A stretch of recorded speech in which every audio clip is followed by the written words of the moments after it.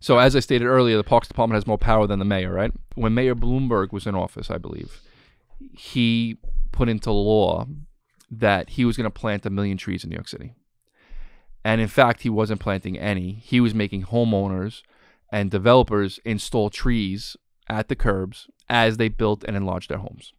Now, if you can't fit them because of a hydrant or a curb cut or a utility pole, you still have to plant those trees someplace else, and Parks Department will tell you the species and where.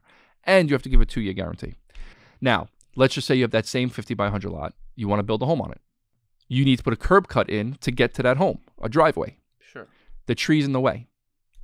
Well, that's a city owned tree. You can't just take the tree down.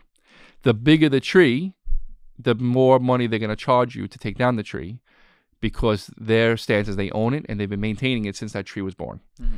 And I've seen people pay in the six figures to take down trees just to be able to put a house on the property. Wow. So the tree fund is a big topic in New York City.